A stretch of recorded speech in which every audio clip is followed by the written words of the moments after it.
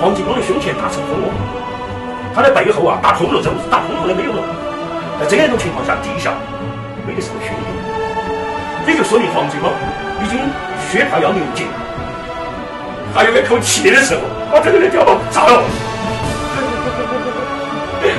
你打个仗，不晓得那个情况，要不然那个我们还要牺牲好多人。